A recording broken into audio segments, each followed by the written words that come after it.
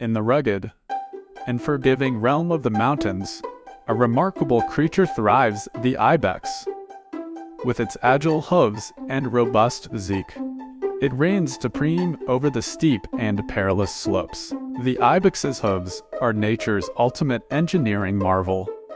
Equipped with soft, rubbery pads that expand and contract, granting them an iron grip on the most daunting inclines. They gracefully dance upon seemingly vertical rock faces.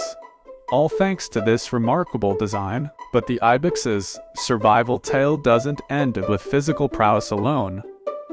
They have an insatiable need for salt, a fundamental nutrient for their growth and development. To acquire this precious element, they engage in a peculiar behavior known